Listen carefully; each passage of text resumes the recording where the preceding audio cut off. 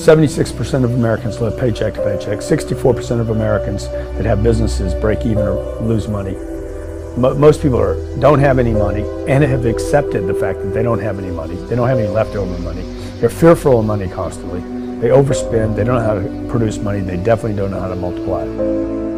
The, the land of the brave and the home of the free, it, it's not even close to the truth. It's just important for people to understand that complaining has no value. And if you complain about not having enough money, work more. If you complain about not having work life balance, spend more time on vacationing and your family. It's super simple. Let your actions dictate instead of sitting there and feeling like you're not in control. Poor people say, I can't afford it, I can't do that, I don't have time. It's an escape. You know what I mean? It's easy to say I can't afford it. Oh, I'm too tired. Oh, I can't go to the gym. You know, when you could go to the gym. No, I can't. Truth is, I'm just too lazy to go to the gym. Money doesn't have value, right? And this is an important thing that most people don't immediately understand is that money itself doesn't have value. Money is, is a vector for transmitting value. It's how you express value. But the value isn't in the money, it's in the product or service you bought with it, and it's in the labor you gave in order to acquire it in the first place. That's where the value comes from. There's nothing intrinsically valuable in the money. You shouldn't put money in a house, you should put money in your brand. You should put money in the marketing. You should promote yourself, not put money in where you and the kids live. Right. Why is that a mistake? Because it's dead money. I mean, it's it, it, it can't a house can't make you money. A house does not make you money. The only reason people think a house makes them money is they're comparing it to if I rent, that costs me money. But you know, if you need to go to a hospital, you don't buy the hospital. You rent a bed. To get out of there as fast as you can. If you go on a trip, you go to America and you want to go to Disneyland, you don't buy the hotel, you rent a room. And nobody thinks bad poorly of that. They're like, yeah, I'm gonna go there, use the place, and get out. That's what you should be doing with your living. Find a place where you can rent rent, rent, pay rent monthly. Don't own the house. And take all the money that you would have put in that house purchase, down payment, extra money, fixing it up. Use all that money to improve your business and yourself so that you can get more money.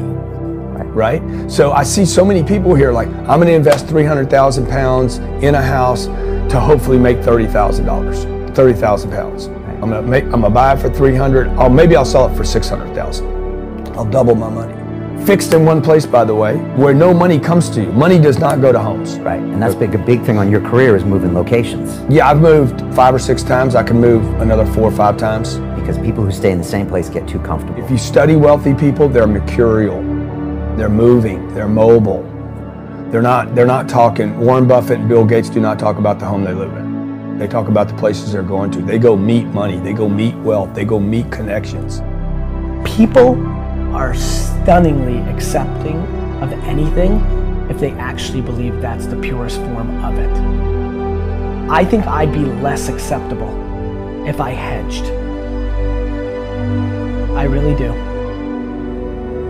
People will accept you. People accept everything. Just be you. Be you, and clearly people like react. When you're trying to fake something and you've got bad intent well then that's visceral and we hate. But i actually think we we we don't give love to the person that actually knows they have it and they're trying to fake it to conform. Hence why i won't adjust to this market all the way because i don't think i'll be respected. I know what my intent is so why would i be scared? I want to build the biggest building in town that's who I am. And you know how I want to do that? By building the biggest building in town. And a lot of people want to build the biggest building in town. And you know how they want to do it? By tearing everybody else's building down. Poverty is passed on. It's taught in your families. And middle class is taught in families.